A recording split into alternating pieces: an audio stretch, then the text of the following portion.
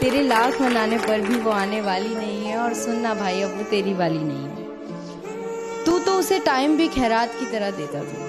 तू तो उसे टाइम भी खैरात की तरह देता था। पूरा पूरा दिन फ्री होते हुए भी उसका फ़ोन काट देता था। आज तू भले ही खाली हो। आज तू भले ही खाली हो, पर वो खाली नहीं है।